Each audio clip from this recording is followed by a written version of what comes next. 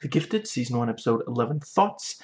This episode is called 3x1. I guess it's 3 in 1, 3 times 1. I don't think the idea of adding an X to every single episode title worked out the very best for this one. But moving on. Spoilers for everything live action X-Men leading up to and including this episode, but not for anything that came out after it. And uh, yeah, another episode I love. The show is rated TV 14, and so will this video be. Let's dive right in. So yeah, we opened two years ago, and I'm not 100% certain what movie they just watched in that theater, but there's some chance that it was Hitman Agent 47, and my head canon is that even that movie is not badass enough for Clarice Fong. And yeah, they're confronted by purifiers, and we see, you know, sadly, this has happened many times. In in you know in real life as well, is happening, will continue to happen you know, I, I want to say it's called the bystander effect. You know, you have all these people who don't stand up against the the pure, you know, these, yeah, these hateful people who target minorities. And let's see, yeah, back in the, and, and I really appreciate Clarice actually calling them out and, you know, the detail that her date, Nate, just, you know, basically abandons her. You know, he he specifies, no, no, no, I'm I'm not a mutant. I'm not one of them. And yeah, back in the present, the the triplets. I really love how, like, some of the time they speak in unison. Sometimes they'll finish each other's sentences. Just, yeah, very nicely done. And and there's this sort of effect to when all three of them talk in unison. I, yeah, it's just, it's, it's excellent you know, they, they added some kind of audio filter. It's not just that, you know, there's three, the same voice coming out of three different bodies, which essentially is what this is. You know, they're not really individuals. And yeah, um, the, you know, they're talking about rebuilding the Hellfire Club. Very, very cool. And, or hot, I guess and I really love the the intercut funerals where you know Jace like straight up compares the mutants to Lucifer you know just yeah. And that is something we see you know to the yeah. Historically and today you know religious extremists say that the their you know the people they don't like, the people they choose to make their enemies, they yeah they they compare them to the the evil from their religion. You know that makes it easy. Then you don't have to think about how you're hurting them because they're evil. What you know, and yeah, and you know Marcos specifically. You know, it's almost as like he can hear the the other funeral because he specifically says, you know, the our enemies act as if we're not even human. And see. Um, yeah, and then we have the yeah, um, you know, Gary Dillahunt says, I'm not a monster, I just play one, well, several on TV. And yeah, the I still don't think I'm going to be using the word myself, but apparently the the three sisters did give the name that you know yeah yeah, they're, they're they keep calling them the the frost frost triplets. I want to say, so that's why I'll be calling them. But yeah, the you know supposedly they gave the the name, the last name, the the bird type that they also have in the in the comics. And and yeah, we learn you know when when it comes to to support for the the triplets, you know, the the people at the Atlanta Mutant Underground, you know, you you take 50 coins, you throw them in the air 50 times, 50 50. You know, yeah. Half of them are for them, half of them are against them, which yeah, that is American politics, I guess politics in the West in general, in a lot of countries at least today. You know, they they again they specifically say half of them think they'll they'll save us, half think they'll destroy us. So, you know, that's not a verbatim quote, but that's yeah. And let's see. And and yeah, you know, in in the background, the you know the triplets are using this division to to help rebuild the Hellfire Club. So yeah, you know, sadly, you know, there are people who use the the political division to, yeah, make things worse. And no, they're not Jewish. Just to, to, cut that one off immediately. Let's see. They're, you know, in general, not minorities. I'm talking about straight white cis men who have a lot of power. Now, let's see. Yeah, good conversation between Polaris and Marcos. And yeah, you know, Clarice tries to reassure Lori, you know, Dreamer's death wasn't her fault. You know, maybe maybe she could have prevented it, but it wasn't her fault. And yeah, the the you know Dr. Campbell is now able to combine powers very very yeah that's that's gonna make them extremely powerful and by the end of the episode we see you know the government has agreed to expand the project and yeah great to see Wes again. And yeah, I was I'm with Kate. Like, what Reed's the cool dad now? Great to see you again. Is you know. And yeah, and and yeah, I guess I can't call her Esme because we don't, you know, yeah, one of the triplets says, you know, it doesn't really matter. We're kind of three in one.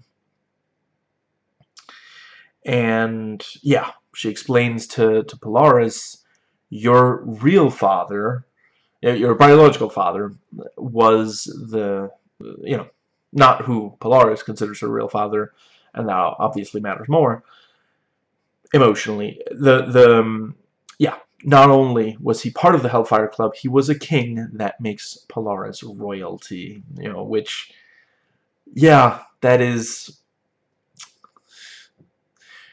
that is very persuasive and yeah, I like the thing. You know, uh, you know, bad things have happened in my life. I like to think that it led me here to stacking boxes. Let's see. And and he continues to be very smooth stacking boxes with you. You know, I was here when you got here. And Marcos and, and Polaris talk about how the, the baby is, is changing her you know, making her more powerful. I, I quite appreciate when fiction explores we, you know, we have so many stories about the negative effects that sometimes babies can have, even in the womb. There is, uh, you know, truth to that. Those are important stories to tell, but I really appreciate when media explores the other side, which, you know, I myself, you know, being a cis man, have never been pregnant. I've never had a partner who was pregnant, but I, you know, nevertheless, I've, I've, you know, I've become aware that, yeah, the, the, you know, it's essentially, it's the, the hormonal thing, which, you know, for, for so long, in so much media, it's just a bunch of cis straight men who are like, oh, you know, my partner is being all weird. It's like, could you have just a tiny bit of empathy for her? And and here we actually see the the positive side of that, which is documented. And yeah, we learn that Polaris, you know, the reason she's sensitive about ableist language when it comes to mental health is she, you know, she's bipolar, which, yeah, that really explains that very nicely. Not that that has to be the case for that. And and yeah, I like the the discussion of ideals versus reality. very cool fight the or action scene not much of a fight with the the hounds attacking and you know blowing down entire walls and lot of air bursts. I hesitate to they're not quite explosions so that's not the right word but yeah. Really really nicely done. They clearly you know they spent a lot of, of time and money on this episode and it really paid off. Like several bits where someone is like running down a wall and suddenly like you know part of the the wall is is destroyed or that sort of thing.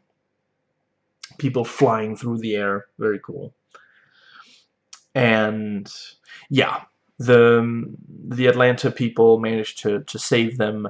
I love how the triplets are just so like they are just dominating this you know yeah.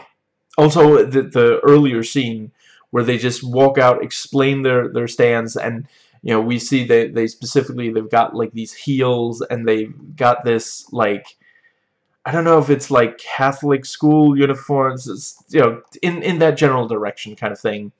And as soon as they've said the thing, you know, they just walk and they disappear into into bright light. Very cool. And and yeah, here at the end, you know, they're just standing there waiting for them, leaning up against the the government cars, and and you know yeah we know you're squeamish about killing we just gave them something to think about yeah I, I don't think it was happy thoughts. And let's see. Yeah um, the Jay specifically says we don't we can't be politically correct about this. Wow. And yeah, we have the thing about, you know, oh, this is this is for the common good, which is what a lot of evil people say, you know, before they do something awful. And and yeah, we learn, you know, yeah, the government guy's like, oh, we could maybe we could take this national, and and Campbell's like, we could take this international. Which holy crap, yeah, that's that is very ominous and I like the the fact that you know when the when the triplets walk in, you know, the guy's literally in front of a chessboard, and that's also called out. You know, you're you guys are busy playing chess and hiding behind screens, and and you know he's like, what were you thinking? And they're like, hello to you too. And yeah, closes with the triplets saying, you know, they're in. I thought only Sage was a hacker. I know, I know. I just, I cannot hear those words and not think that. So, yeah, this is, there's, there's two episodes left of this season, and yeah, they're really building very nicely towards an epic conclusion, so that's going to be really cool. And yeah, IMDb trivia for this episode. And let's see.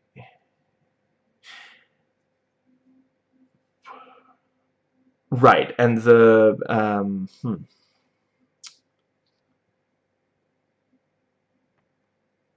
Okay, so according, yeah, I don't want to. Yeah, just the the Esme's sisters, Sophie and Phoebe. You know, the, the some of the the five also have the five and one also have those names in the comics. And see. Right, I appreciate the the thing about you know oh they just gave that name to to mess with the the cops or or something like that. And right, and the yeah, they're specifically given a, a diamond and, you know, Emma Frost could transform herself into a diamond. And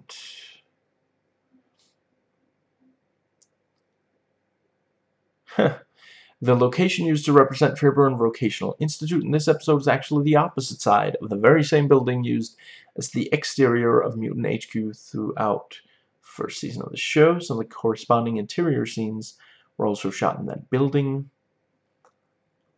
The interior of Mutant HQ, however, is set on a sound stage.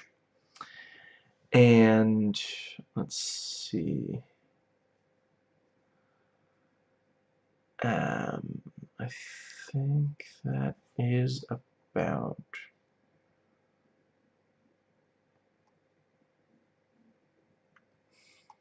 yeah um